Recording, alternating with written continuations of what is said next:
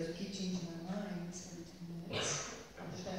Piece of it. This next one is called Come Out and the composer of this one is Kathy Mokelbust, so you might have played it. I hope you're